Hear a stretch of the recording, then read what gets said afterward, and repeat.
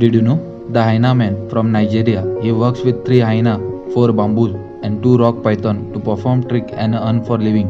If you like the video, then like, share, and subscribe if you are new to the channel.